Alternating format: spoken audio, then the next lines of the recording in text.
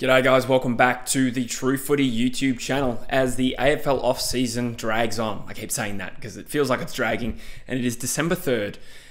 Still like so much to go of this. But today I am uh, continuing my off-season series where I'm going through each individual club in the AFL and trying to do a little bit of a breakdown of the where where I see they're at, uh, trying to analyze their best 22, look at some depth options, and maybe try and a little bit forecast what's going to happen next for each individual club. So I've been doing it in reverse alphabetical order from the Western Bulldogs. I've done West Coast, St Kilda, Sydney, and Richmond most recently. And today we're going to do, do the Port Adelaide Football Club. As I said in the Richmond video, um, I've, I've really enjoyed this series. It's not necessarily doing extremely well on, on YouTube in terms of views or anything, but for two reasons, it seems to be well received to some extent but also I'm really enjoying the fact that I get to really deep dive individual clubs, which is not something I really get time to do during the season. I mean, I try my best and I try to react to things as they're happening, but this has given me a really good opportunity to, to really get a good understanding of where clubs are at. And um, yeah, I think it will make me better at what I do next year and beyond. So today we're going to talk about the Port Adelaide Football Club. Uh, before I crack into it, I actually just want to give a shout out to a good friend of mine, The Pear. He's another YouTube channel who is a Port Adelaide focused YouTube channel. And I want to direct your attention to perhaps anyone who obviously likes Port Adelaide and is not aware of that channel. Go check him out because the man works tirelessly, has done for years on giving you the best Port Adelaide content on this platform. And absolutely go check out The Pear on YouTube. And I should have done the same thing for Saints TV, who do a wonderful job covering St Kilda. Uh, seriously good channel over there. I want to shout out those two channels for giving you great club specific content. And you know, while you're in the mood to subscribe to people, just you know, if you haven't subscribed to True Footy, maybe this is a good time to do it. Maybe help this man get to 25k by the end of the year. I like to set goals, and every time, literally every time, you guys have helped me smash my goals. So um, thank you very much. If you're enjoying the content, I uh, really appreciate the support. Now let's talk about the Port Adelaide Football Club. Uh, this was a bit of an up and down season in a sense for Port Adelaide. It, like broadly speaking, a successful comeback after a poor season in 2022. 2020 and 2021, they lose a prelim. One's a thriller, one's a horrible nightmare at home to the Western Bulldogs. 2022, they don't really come out of the blocks very well at all. They go 0 and 5, sort of rectify their season. 2023 is the where they pull their finger out. You know, throughout that home and away season, it was looking a little while there that Port Adelaide and Collingwood were probably going to be the two teams to beat. Port then sort of had a mid to late season lull, and they kind of carried that uh, in different form into the finals, where they were ultimately beaten badly in two finals, one to the Brisbane Lions at the Gabba, and then to GWS, where I think they only lost that game by three or four goals, but kicking one goal nine in the last quarter. it was just a really off day for the Power. And it does continue this little trend uh, of poor performances in finals, it has to be said, um, which you can understand for a young group, uh, although as I look at it, it's quite a mature group now. And perhaps they're just going through that phase where they're accumulating, you know, bad experiences and,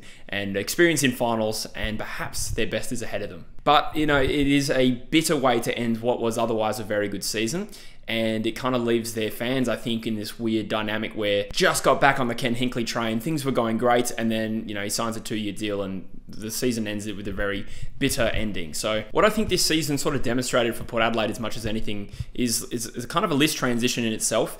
We saw the young core, guys like Zak Butters, Connor Rozee in particular, really announce themselves. We saw some really good signs from Jason Horne-Francis at times as well. He's obviously going to be a future gun, you'd think. And it was almost like a reliance too much on these, these absolute young guns. And uh, over time, we saw some of the older veterans who had been previously good players for them and important players kind of look a little bit tired and maybe not quite up to it. And as a result, I think this offseason we've seen a really big list refresh, particularly when it comes to key position roles miles. So before we crack into their 22, I, uh, I want to cover some of the, the delistings. And when I say delistings, I just mean players who left the club, as well as some of the additions this year, because it was a very active uh, trade period, it has to be said, for the Port Adelaide Footy Club. Um, very, very active indeed, and it's going to be interesting plotting their 22. It's quite a new look team. But relatively big name players that left the club. Xavier Duursma joined Essendon as part of the Brandon Zerk-Thatcher deal. Scott Lycett retired. Tom Jonas retired. A couple of key position players there. They delisted Riley Bonner. They delisted Orazio Fantasia. He's gone to Carlton now.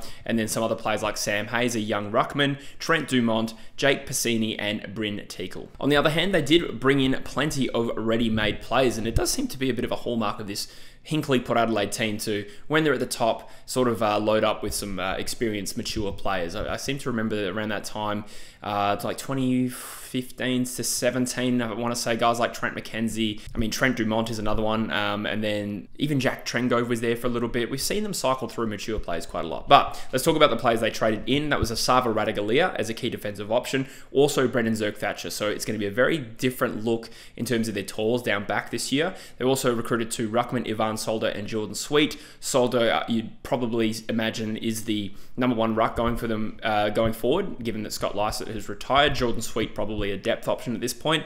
And then their draft picks, obviously, they entered the draft fairly late did a bit of live trading and got a few targets in. Tom Anastasopoulos, uh, Lachlan Charleson and Will Lorenz went in the national draft. There's two pressure forwards there, and then a, uh, a clever, crafty outside mid and Will Lorenz, who I uh, quite like the look of pre draft. And then a pretty high potential rookie list option in Xavier Welch.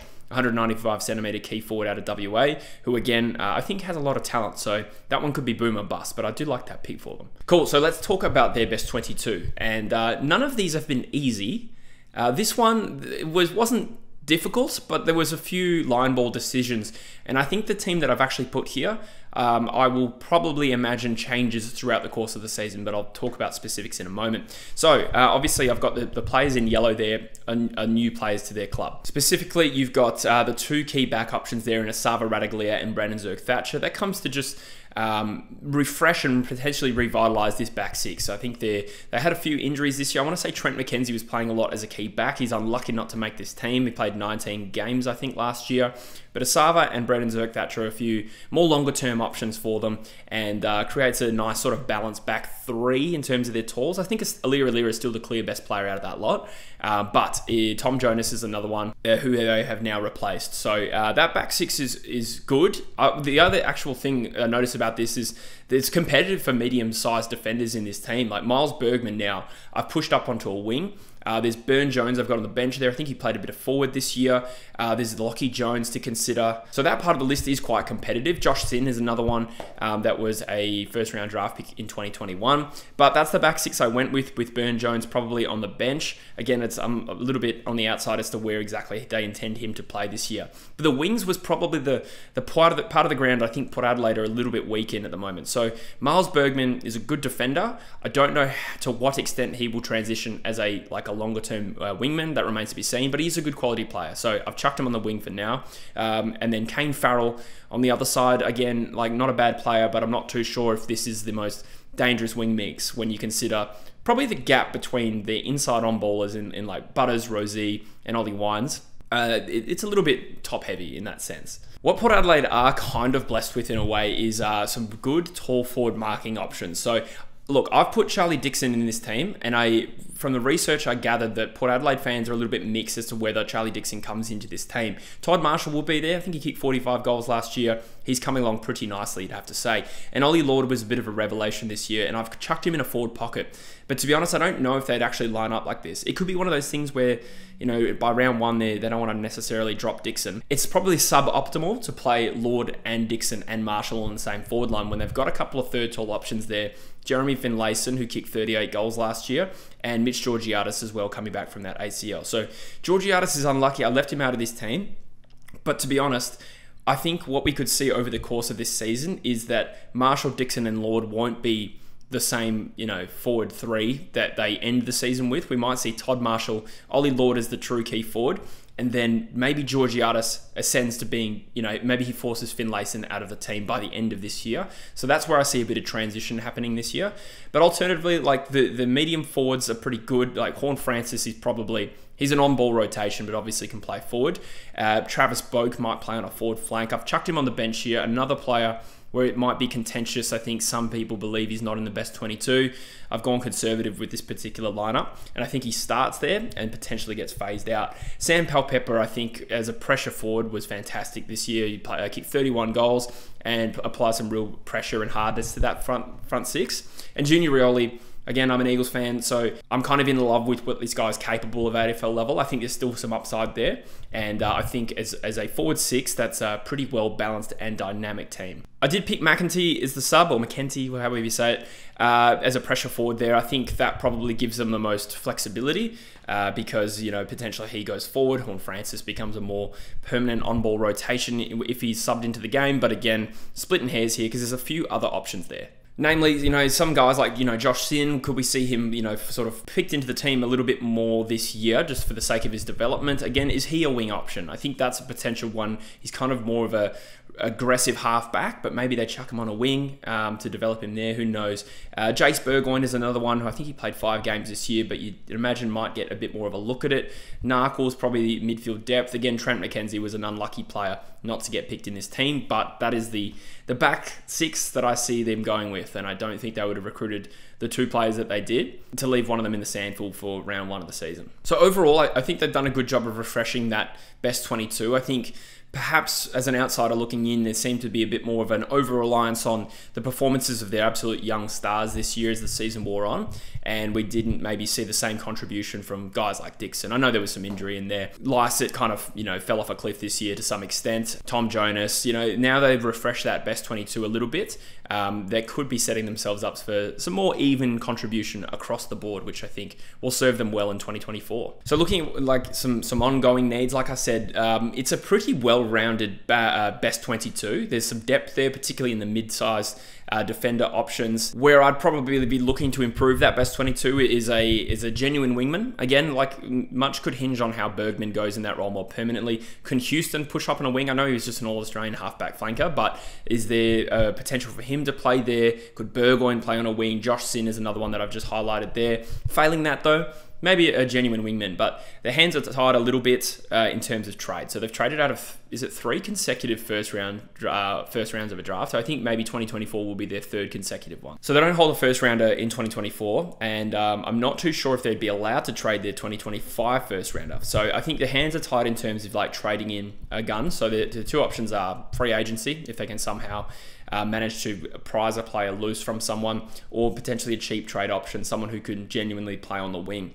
But I think they also do need to preserve that 2025 first rounder. If I'm going to be trading it in Port Adelaide's position, I'd be trading it into the 2024 first round. What they do have is a couple of uh, father sons in this year's upcoming draft as well, uh, with Brent Montgomery's son, uh, Louis Montgomery, and then another Burgoyne coming in 2024. So what they could potentially do is, you know, trade that 2025 first rounder into 2024 if there's a live option available. I don't know, just thinking of some ideas that Port Adelaide could do to get creative this offseason. Because in terms of improving their best 22, whether it be through the draft or trade, uh, their hands are a little bit tied. But I do think they've drafted well, and like I said, there's there's still a lot of talent, particularly in the back half, that is still trying to force its way into the team. So in terms of a 2024 outlook, um, looking at that team, I don't see any immediate reason why Port Adelaide wouldn't be thereabouts again in 2024. Obviously, you know, football is it's so multifactorial that you know anything could happen. Clubs fall off a cliff all the time. I mean, look at Port Adelaide in 2022. But on to, on list strength, on best 22 strength, and when you consider the upside of their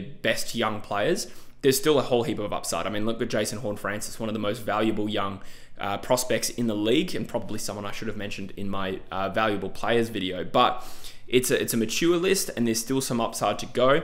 I would probably assess that Port Adelaide, if they miss the top four this year, on 2024 rather, there internally that would be seen as a, as a genuine failure. That doesn't mean that's my prediction, but they, they should be good enough to do that with uh, with the star-studded lineup that they have and, and pretty solid depth across the board. I also think that their expectations would be a reflection of their list management mindset, which has been to forego, you know, draft picks in the last few years to get some established talent into their team. That obviously indicates that they're here for the here and now. And I think Port Adelaide will be striving to at least make top four and be a genuine premiership contender because obviously with their finals performances, gotten thereabouts and then kind of shat the bed, respectfully. But there you go, that's kind of my assessment of Port Adelaide. I think there should be thereabouts again with a new look and refreshed best 22.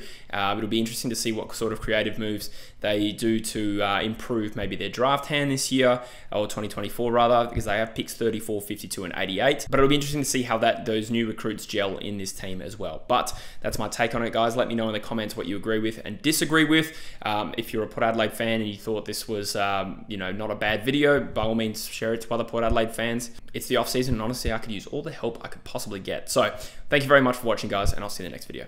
Cheers.